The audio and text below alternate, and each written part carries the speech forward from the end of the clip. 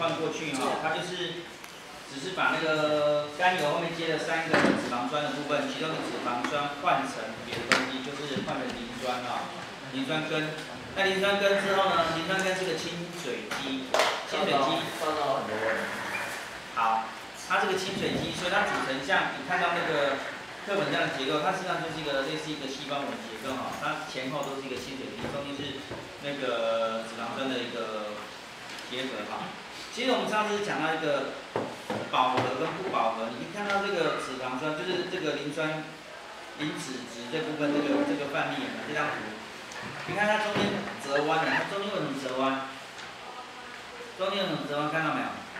它两，它有两个双键嘛，有一个双键一个双键，知道它就是一个所谓的不饱和，那就形成一个不饱和，好，所以这是一个不饱和的脂肪酸哈。OK，好，所以饱和跟不饱和这样差别。你再看到前叶哈，前叶甘油上面接了三个脂肪酸，没有？其中有两个脂肪酸是饱和的，所以它都是单键。中间折弯的部分也是不饱和的，不饱和它有一个双键，所以双键它就变折弯了哈。对啊，这不饱不饱和到底怎么办？不饱和就是饱和就是它所有的键都拿去做单键，跟氢反应的。不饱和就是其中一个键变成双键，它中间多一个双键，就看到它就把它折弯，因为它两个一起。它就这边会产生，因为这边有氢，所以它把它挤开，所以这个键就歪掉了。哦。啊，键就歪掉了，变好，OK。好。什么叫做什么什么？机啊，哪里？官能机是吗？对，之类的。好，官能机上一次有解释过，那个 官能机是谁讲？那上礼拜是谁讲到官能机的部分？我，我想一定都是我。好，那你讲一下什么是官能机？忘记了，让我我找一下官能机在哪里啊？官能机在第三十二页这边吗？三十二。对啊。这么随便讲。三三十二。是啊，三十二。哦对对。嗯，关能机什么意思？这是第一组讲的啦，哦第一组讲到碳的重要性的时候，关能机。那第一组说干什么关能机？这都忘记了，关能机啊。我们那是用的，我用的甲烷啊、甲醇啊、醇类啊。就是长得不太一样的那个部分。对，它有个特殊的一个结构，在在尤其在我们在讲有机有机化学有机体的时候呢，它有一个特殊结构。它会变成它的特殊功能，比如像羧基，羧基是什么？羧基是 C O O H，记得吧？有记得吗？羧基是有机酸的特性啊。你想看有羧基的东西组成，它就是一个有机酸的东西。好，这算在复习啊，因为你们我不知道复习什么。好，你看一，碳四周接个氢，这是什么东西？甲烷，啊，这是碗内，有没有问题？有没有问题？你有嗯，表示你有问题，对吧？有没有问题？没有。现在没问题了哈，这是碗内哈。好，我如果呢，中间有个碳是双键，我只能接两个氢，我就不能接三个氢了，对不对？你看这个碳接四个氢，对不对？嗯。那我如果把一个氢换成一个碳。这是乙烷，你看碳都是单键的组成，这是烷类。嗯。啊，有人说这个叫做烷基，烷基呀，这个碳后面还是甲可以接别的东西，这可能接任何别的东西，但这边只要都是单键的成分，这就是烷基。哦。啊，甚至呢，你也可以说这是一个烷基，这边的碳都是单键，这就是烷基，懂意思吗哦？OK，对，那我如果把这边接上一个 OH，这边什么？这边醇类。嗯我这边一个碳的时候，这边假设没有，这边接氢的时候，这什么？这叫甲醇。这边接到另外一个烷基的时候，这变乙醇。我若再把这拿掉，这变什么？丙醇。啊，就是往后接。那我如果说把这个碳，我这边接，再一个碳，但是这边接 O O H，这边什么？这个就是我们讲羧基啊，就酸，这边甲，这变酸类了，这是乙酸，啊，我如果直接这边接一个氢，那是甲酸，因为只有个碳，所以我一个羧基直接接一个氢是甲酸，我接两个氢是乙，呃接两个碳是乙酸，我接三个碳丙酸，接四四个碳丁酸哈，那整个这边的这些东西就是一个烷基，在课本上或者说你在以后看到会他写 R，他用一个 R 来表示。这个 R 表示它是一个碳的长链，多长就不知道了啊。是可以一直连的意思。对，可以一直连，碳是可以一直连的，这个长链。啊，它可以丁、甲、乙、丙、丁、戊、己、庚、辛一种后接嘛，它可以接得很长，没问题。啊，但是你要看到这个东西，这是羧基，啊，这个羧基它就是酸类，就是有机酸的酸类。嗯。OK，啊，刚刚 GOH 是醇类，刚刚这个氢就是烷类，没问题。好，就是官能基的意思，就是有特殊的长相，OK，好，那问题，还有问题吗？好，就是它原本就是它就是长得比较特别一点的东西。对，在我们在一些分子结构上有特殊的啊，就像是一把钥匙一样啊，这个钥匙能开某个锁，所以可以说，假设我长得一模一样的。这个锁头，这个钥匙的前面这一段，我是开同样的锁，我只要长一模一样都可以开这个锁，这就是一个关能机啊，啊，长了一个特殊结构，OK，在生物上都这样，上个解释过，像我们讲说，呃，有人说这个叫什么吗啡，吗啡可以治治痛疼痛，对不对？可是你在运动的时候会分泌出一些，嗯，马跟马背很类似，什么？它叫做。脑呃，脑内啡啊什么的，对，它可以分泌出来，会让你觉得有点抑制痛苦的现象。所以说，人家运动会让你觉得心情比较开朗，是这样的心情，然后让你比较开心。好，所以如果经常不运动的话，比较容易忧郁，这就是现象。啊，那那个什么，就是它可以干嘛？那个鸡，比如它长得不一样可以干嘛？长得不一样，它有不同的功能，就不同的功能，就每一个都不同。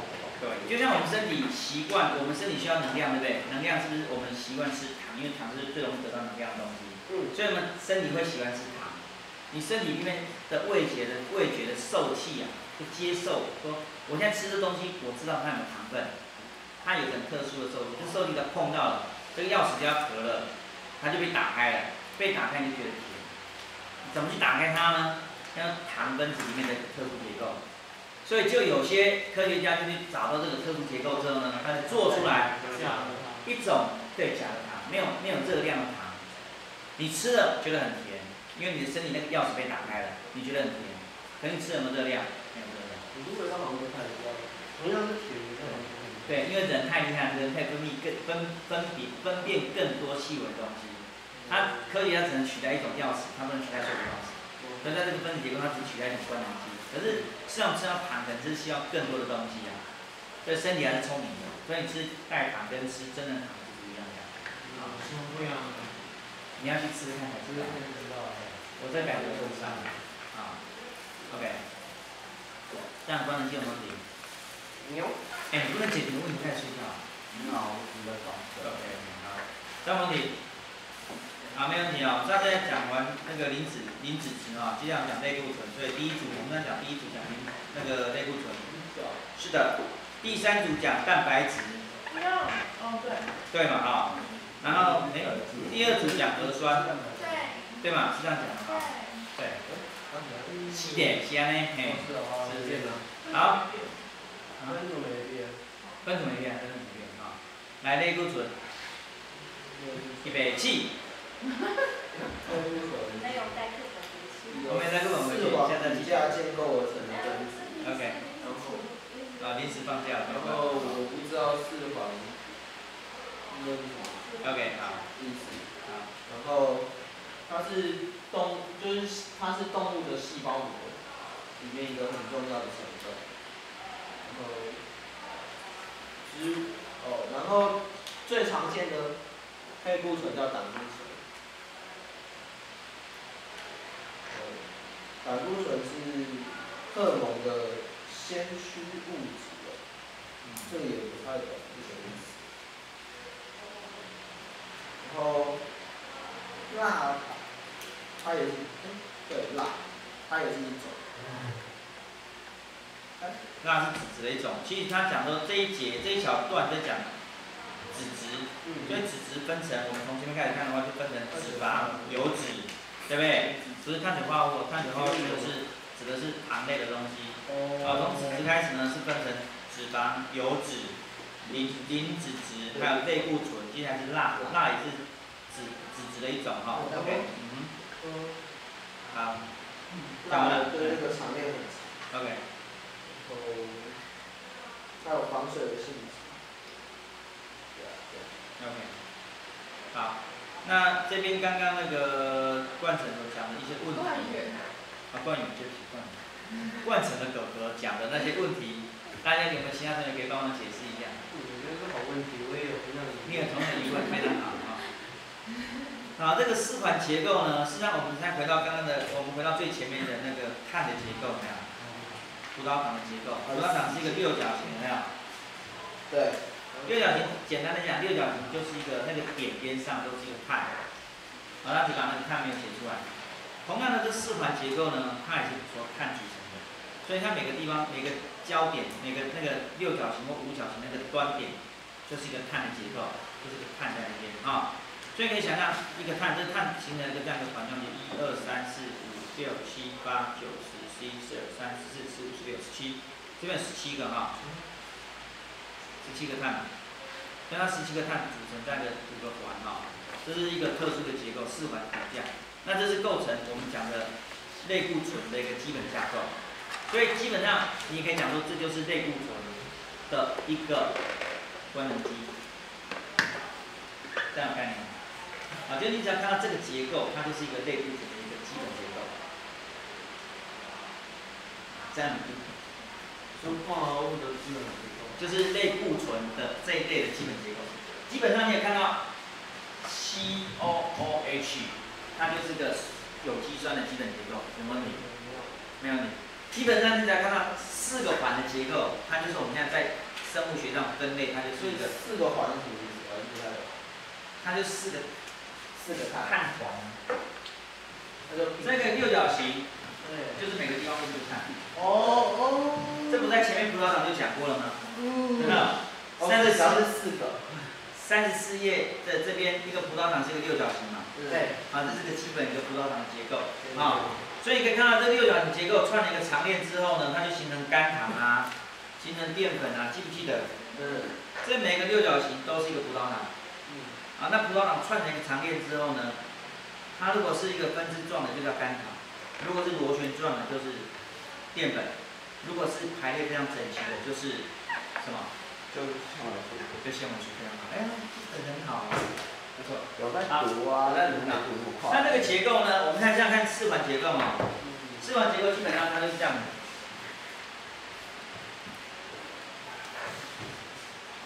哎，它是立体的哦。它实际上空间中是立体，没有错哦。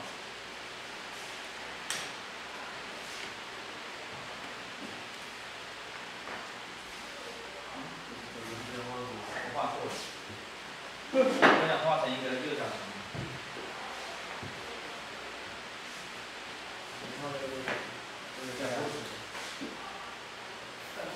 他画的，他画的方向跟我画的方向一样，好看。你只要感触起来。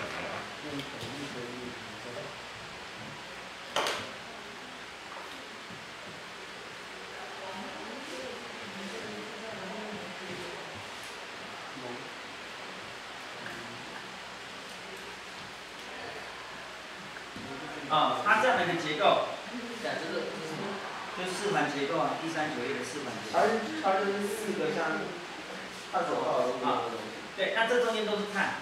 嗯，都在碳。啊，它是一个碳所组成的一个结构。所以当碳排成这样一个主架构的时候，四环架构的时候，四环主架构，你就可以说这是个类固醇的主架构。这样懂意思吗？好，就是个四环结构。当碳组成这样排列组的时候，它就是一个类固醇的主架构。你也可以说是类固醇，它的这个形状就像类固醇一样，它有类固醇功能。OK，在细胞上呢，它存在于动物的细胞膜上，所以植物有没有？没有。植物就没有胆固醇。好，那这个其实我看到这一段，我就想到一个引申的话题，为什么说出家人他鼓励你吃素？因为你看啊胆固醇的，我们刚刚就回来这个冠元所讲，什么叫先驱物质？哦，我们讲哦，他会那个蛋白质的先驱物是什么？氨基酸。你必须要氨基酸才能合成蛋白质，你没有氨基酸不能合成蛋白质。所以我只要不给你氨基酸，你就没有蛋白质。对，同样道理哈。蛋白质也可以分解成氨基酸。嗯。同样道理，胆类固醇的东西可以合成什么？可以合成睾酮素，呃，睾固酮。也可以合成动型激素。嗯哼。啊，那搞不懂什么东西？赵总？什么是搞不懂？假睡了。你不能上来就问问你的问题，问完你问题就准备睡觉啊？哦，对。啊，什么是搞不懂？搞不懂。对啊，开始搞不懂你了。什么是搞不懂？哦，就是男性激素啊，让你的鸡鸡长大。非常好。那什么是雌性激素？动情素。就是让女生的男孩变大了。OK，所以基本上吃素的人，他因为缺少动物性的这个类固醇，他不容易合成这些东西。啊，你可以这样想象，实际上说吃素的话有这个好处，它就比较不会动。那比较不有脂肪的欲望。对对对对，你说为什么不多喝一点人工饮料？什么样的什么的不是很多吗？再讲一遍。喝多一点的话，那不是？哎，有些忘记了，算，先不要理，我想问一下，不要理好，所以它是内固醇这个有这个功能啊。那嗯对，那内固醇其实我们现在目前来讲，很多时候用在那个医药上，内固醇。那医药上类固醇会让你有点好像类似止痛的效果吧？对，啊，是会一会让你免疫系统钝感。会让免疫系统比较没有那么活跃，啊，所以它不会让你觉得，又有时候觉得痒，有没有？吃类固醇会让你比较抗痒，或抗痛，它比较不会反应。是过敏过敏反应。对对对，过敏反应会降低，会让你降低过敏反应。但是吃多了不好。哦。哎，吃多了不好，为什么不好？嗯，对，就太降了一点不好哈。OK，那接下来就辣子。辣子我们刚才讲说脂肪，那个后面的脂肪酸，脂肪酸到底有多长？嗯。感觉应该可以减啊，对，可以减。就延的太长就是蜡质，简单来讲讲。啊，你的脂肪酸很长很长的，就是转换的，它就是脂质的一种，就蜡蜡的部分。嗯。所以脂肪酸也可以看到，它脂肪酸有些容易凝固，或有些不容易凝固。哦。但是呢，也跟它的长链有关系，到底有多长？嗯。啊。好。好，第三题讲蛋白质。哦。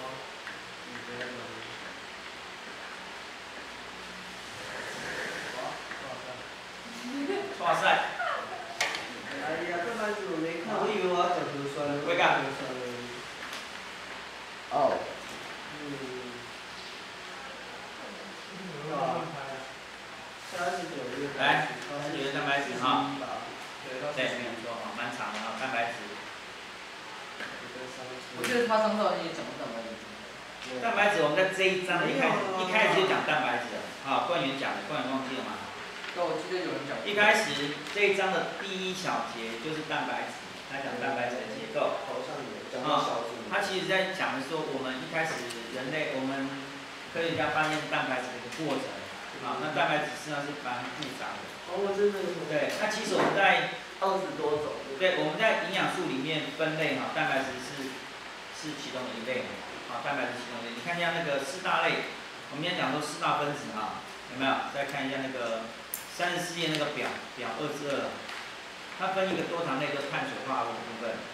脂质有分四大类嘛？脂质有一个叫做脂质，有一个是油脂，有一个是磷脂质，有一个是蜡质。啊，核酸呢是独立独特独立的一种哈。另外一种是蛋白质，蛋白质是数量最多的。啊，数量最多最复杂的是蛋白质哈。来，说说看蛋白质是什么？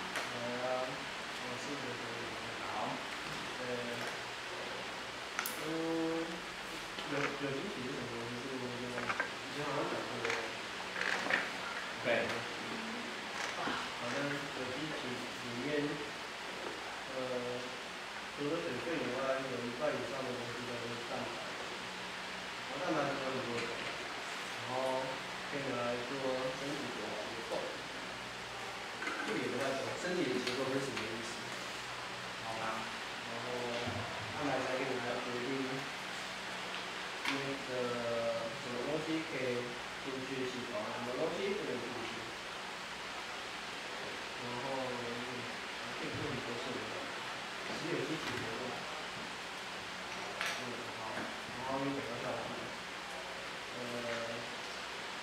在线活动群，就是他们要要这个可以在线活动群，嗯，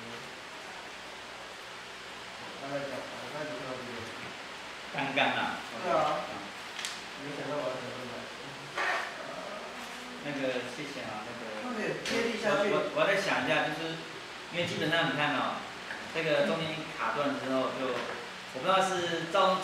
东之我讲开始睡觉，会关你，但其他有两三位就开始闭眼睛了。啊。啊。那这是。我还是一样啊，我觉得就是说你在看一个重点，就是说当然可能你在组除了自己上的请假之外，那可能有没有就是你该在预习的时候要有一点点，就是大家知道我要讲什么东西，要找重点抓出来。不懂的你可以整个后面一起排列出来，但是你该大概抓一下，说我这一节要讲什么重点，把握在三分钟之内把它讲完。啊，重点是什么？不要念过一遍啊，念过一遍会大家应该都会看过，人家念的没有比人家快啊。好吧，那我就讲。好，那个子龙要讲吗？嗯嗯，你的事是我的都可以。好，谢谢。OK，没关系，我讲啊。啊，蛋白质，蛋白质是我们身体最主要的一个结构之一啊，它有一一万多种，哎，对，一万多种。赵总，你看过没有这一段？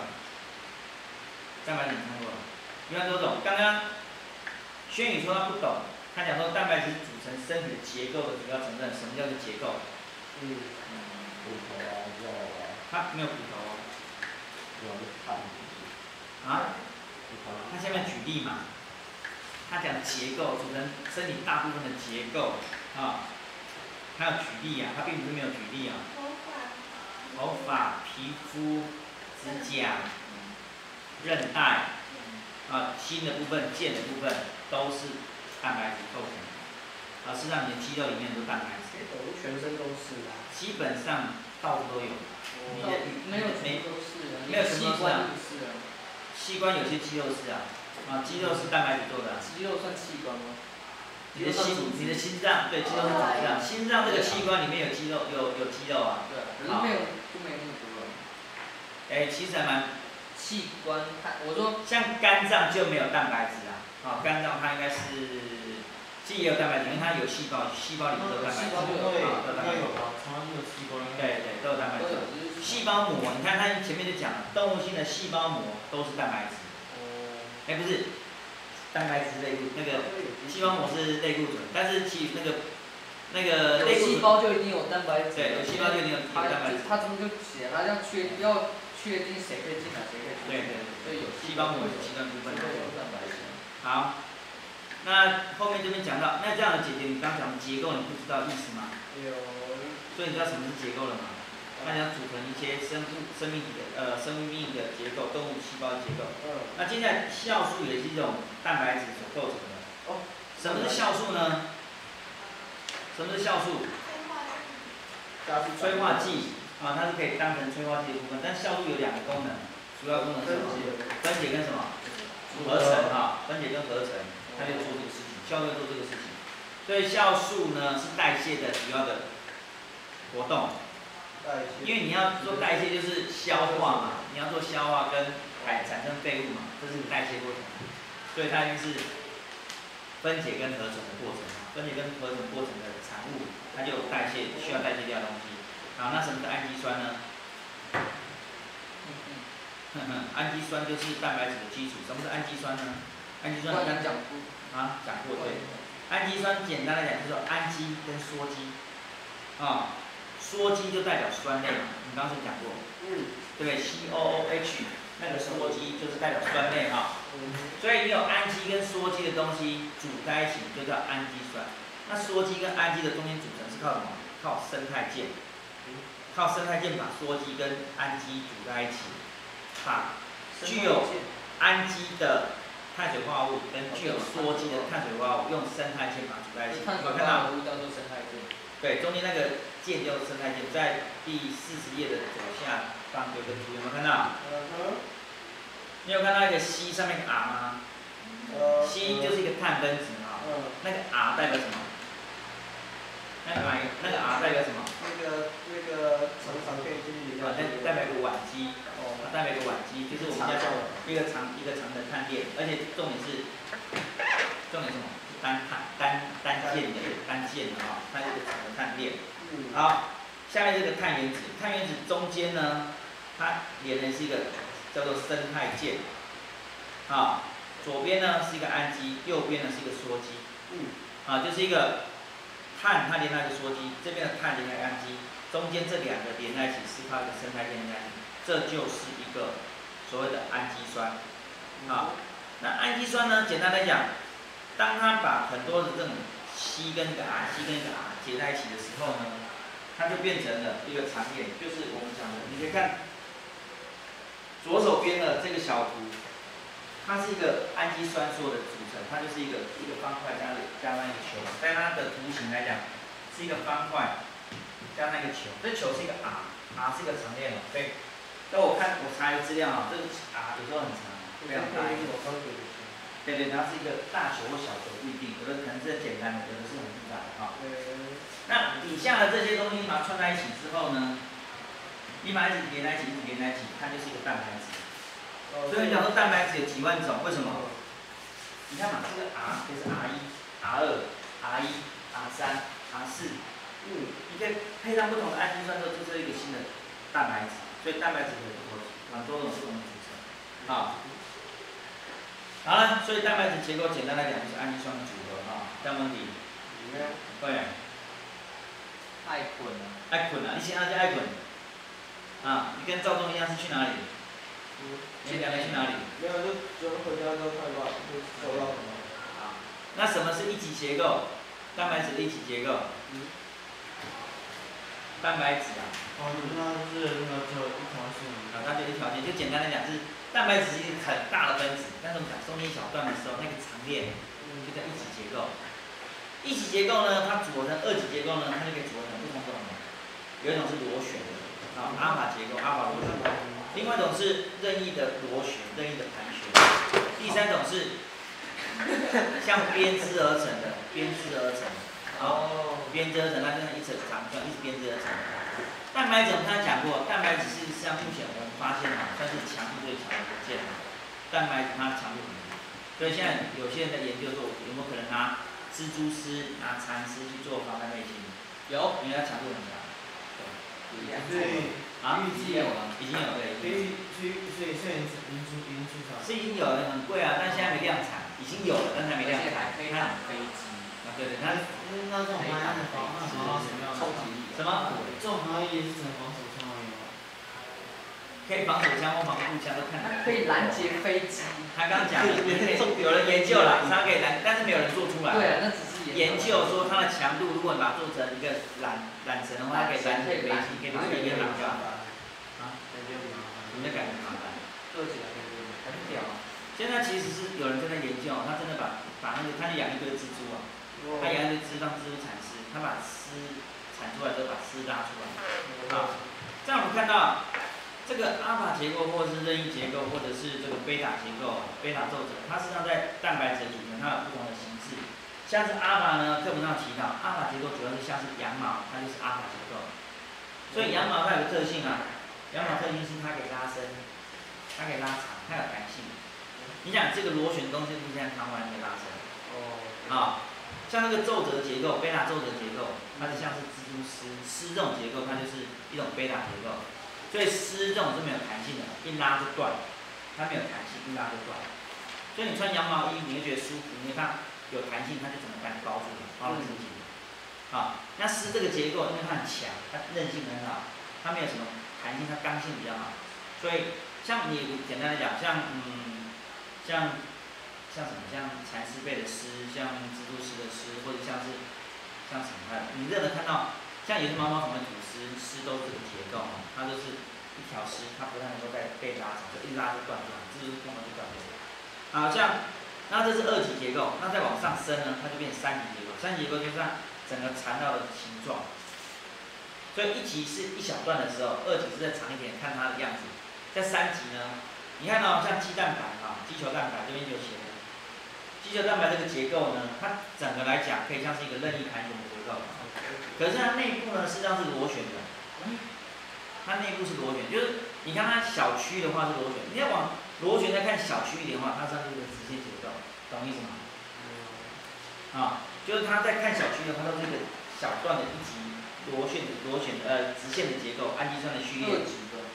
啊，那二级一级的结构往上升之后呢，它可以看到它有些是会有盘旋，有些是用螺旋，有些是缠绕的方式，它的不同，它是二级结构。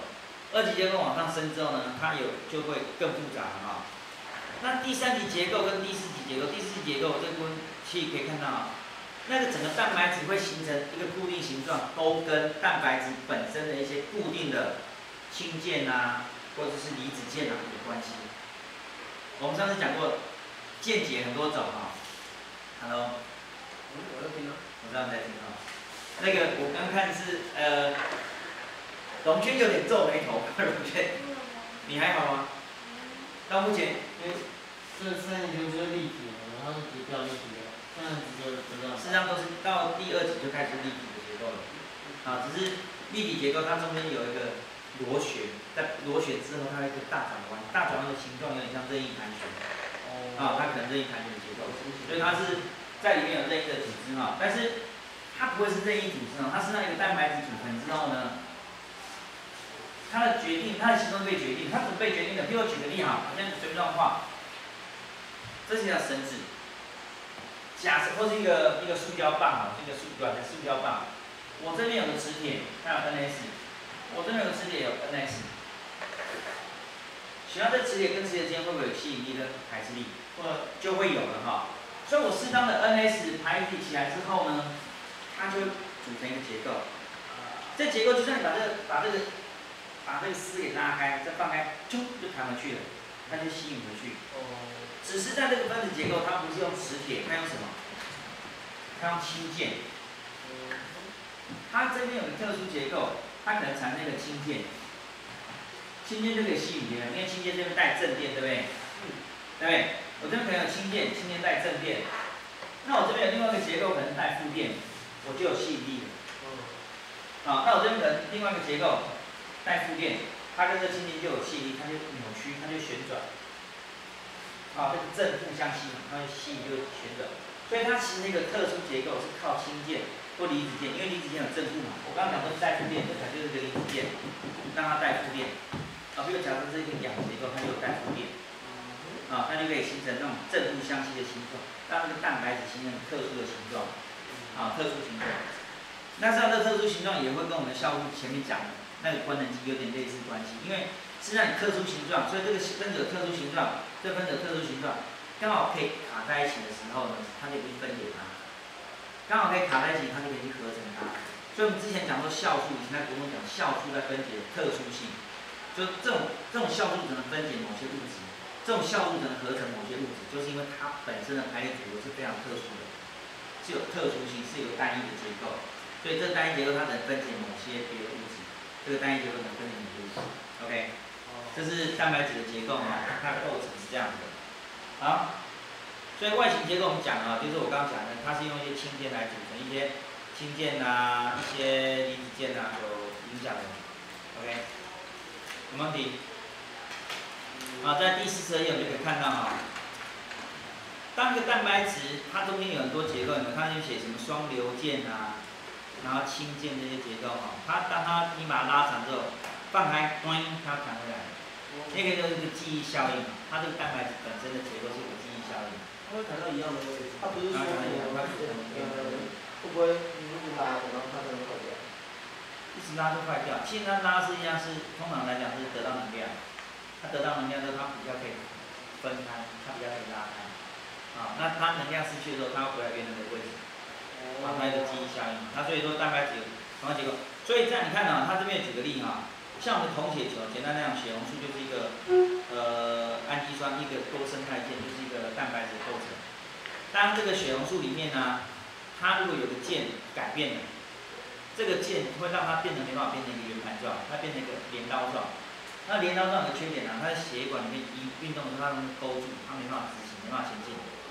那没办法前进，血液没办法自动流流流动的很好的时候，它就没办法让你氧气输送到全身了。嗯。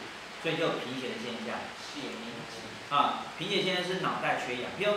贫血现象比较常见，就是我又我蹲下站起来的时候，突然觉得一片黑黑的，对吧？缺氧，血压上去，血那个氧气进不到脑袋，氧气那个脑袋缺氧，然后在缺氧突然就一片黑，然后那种状况就是我们简单讲就是贫血现象，就是你血红素不够。那像镰刀型的不是血红素不够，是你的血红素变形了。那血红素变形的原因是因为蛋白质里面有个小结构被改变了，它本来这边有个磁铁，它可以连在一起，这磁铁连在一起可以把它变成球状，就磁铁不见了。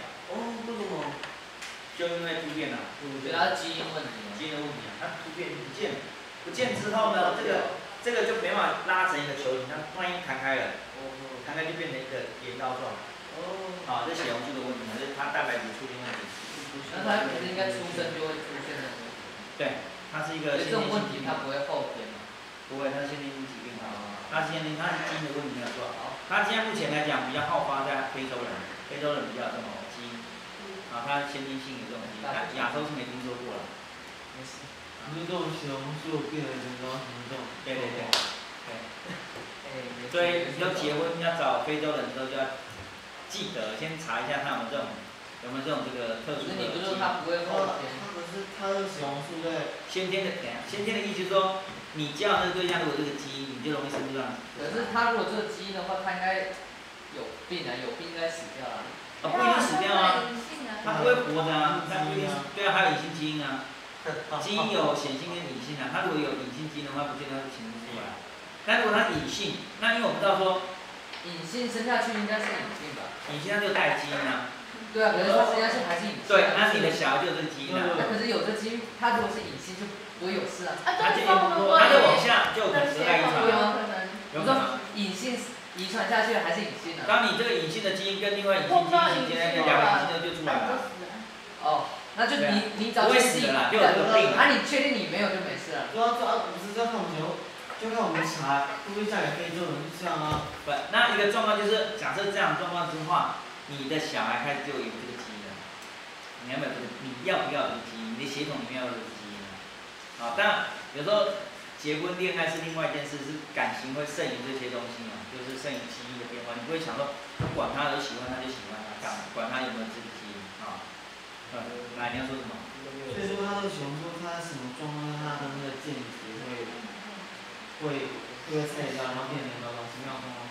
就是就是有个有一个这边有写嘛，它有一个有一个基因，它理论上应该产生一个氢键，把那个。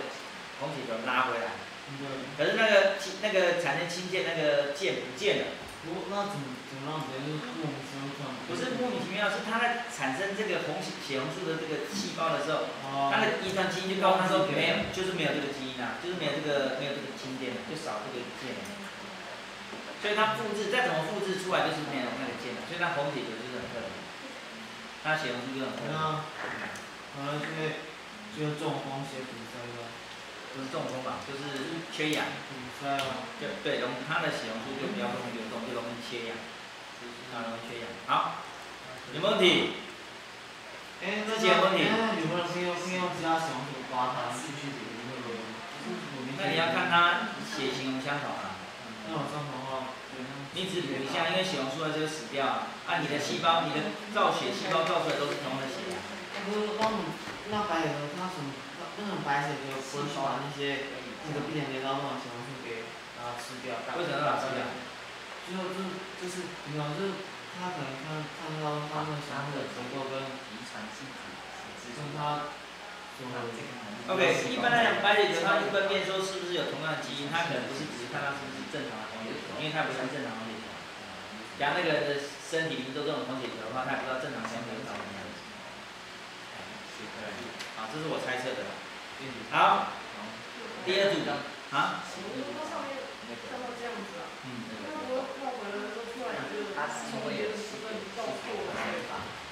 基本上它的绕它不是，就是说它应该是同时间在绕。比如讲能量不够，它应该整个空间收缩。它并不是说我们先拿着这一头开始绕，不是这样，它是整个收缩。所以在收缩过程当中，它哪边有有吸引力，它就是固定那个吸引力。所以就算摊开也是整个一摊开，收缩整个一收缩，所以它会回到原来位置。对，它不会说是像我们想象说你在绑绳子，因为你绑绳子的时候你可能拿两个箭头，其他地方并没有拿着，所以其他地方没有受力啊。当它事实上是受力是整个同时间整条分子一起该受力的地方一起同时受力的，所以它会回到原来位置。OK。所以它的过程一定会被这个想到。因为他看起来好像，如果说是它只有这这一点点的话，感觉用这个红色的这个线条会不，他只举个例啊，他当然没有只有连这几个点，他实际上那个点是非常复杂的，就跟你的那个 DNA 那个双股螺旋状一样，双股螺旋状也是因为氢键的关系，让它成了一个螺旋状。这个螺旋状的并不容易说，因为我我今天复制完，它就那个双股螺旋状不见了，它的螺旋状是都存在的。好，好，OK，核酸，第二组讲核酸，好。是。嗯，有生命还有没有生命的很大的区别就在于有没有生生产后代的能力。嗯。然后你要生产后代，就会需要去氧核糖核酸，这叫 DNA。然后制造，它是制造的遗产物质都要储存那些遗传基因的讯息。它的功能大之后，我记得没有？嗯，它下一个功能是道，下一个功能是，嗯，储存遗传讯息，还有复制，还有传承之后，第三个是表现遗传形式。然后另一个。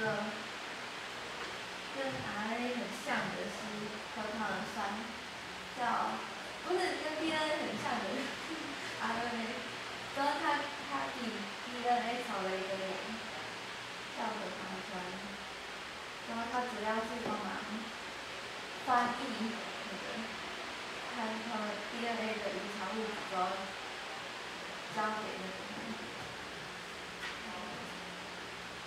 嗯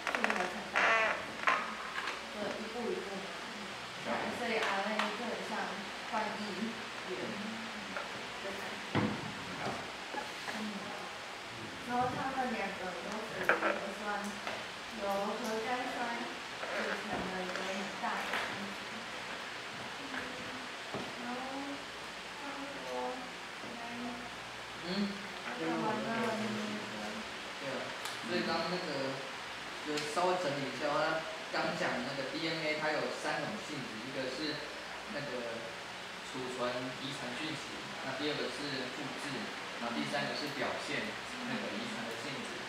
那刚刚那个子呃子荣讲那个 rna 其实应该应该就是部分 dna dna 里面负责表现基哎诶表现遗传性质的一个重要的应该要刚要这样讲比较我的听讲会听成它有三个性质然后另外一个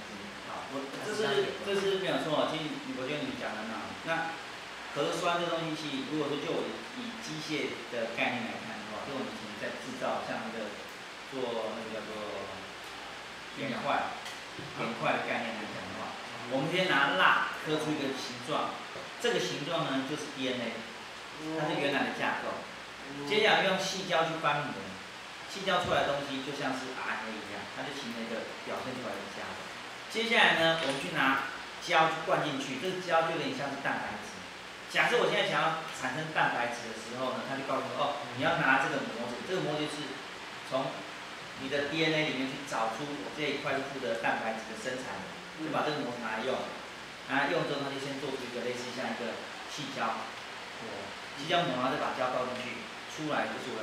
它倒进去。它有点像是 DNA，然后它要配合 RNA，然后再透过 DNA 它所拥有的这个蛋白质，然后把它生产出新的，哎，表现出或者是生产出新的。所以的意思应该是 RNA 是功能不完整的 DNA 啊。不不是这样子，不是，他们它是它是 RNA 有点像是 DNA 里面的一个部分。它是拿来做成表现出来的东西，所以我先现在很简单点说，我这个 DNA 里面有好就是很长很长一大段，对不对？但是我可能有一段是负责生产那个蛋白质，生产红血球蛋白质，某一段是负责生产所谓的这个呃细胞复制细胞。它这每一个部分都有 RNA 的。对，它每个每个这个 DNA 里面有各种不同的功能啊。那我现在要复制，比如那我们讲说基化，实际上我们这边没有提到，但是未来要提到。在细胞里面，你要复制。比如举个例哈，你皮肤的细胞长出来的细胞会不会变心脏的细胞？不会啊，不会啊。你皮肤的细胞，假设我有一层皮被刮掉，或者我去，就是累残，这皮肤被磨破了，这长出来的细胞会不会跟你心脏的细胞一模一样？不会啊，它会复制成细那个皮肤细胞，对不对？我心脏也可能受损啊，我心脏可能因为我。久了，有些细胞死掉，我会产生新的细心脏的细胞。我心脏细胞长出来之后，这细胞跟我皮肤细胞也不一样，不一样，不一样。好了，不一样。皮肤细胞的 DNA 跟你心脏细胞的 DNA 一不一样？一样。一样。那为什么复制不一样呢？不一样啊。对，实际上不上来，它是里面的一些激素，就是我反刺激它反应的东西不一样。所以它整条 DNA 不见得都在用哦。我在心脏的时候，可能是某一段在用。我在皮肤的时候是另外一段在用，所以它可以产生不同的功能，它可以复制出变化性非常多的一个的细胞。好，那干细胞就是说，干细胞是它的功能还没被激化，所以它可以做任何的功能。所以我把干细胞放在皮肤这边，它长得很细；我把干细胞放在肝脏，它就长肝脏。对，它受旁边的激激激素影响，它被刺激，刺激到它形形成特殊的功能。啊，所以 DNA 不是整张在用，但是在用的过程中呢，它跟 RNA 配合去复制，它就是把这一段的形状拿来用，拿我的蛋白质的那个氨基酸丢进去，组合就是这个形状一模一样的蛋白质，懂意思吗？它是类似一个翻模的概念，就是我从那边复制出来，所以那个形状会一模一样，跟我的 DNA 有关系。所以什么 DNA 是一个很重要的一个物质，因为所有东西在形成都跟跟我 DNA 去做组。match，好，对啊，对，我在跟你，跟他说有东西，等一下有课嘞，对，下课的关系吗？没有，我以为我以为中午了，有没有突然间都醒过来？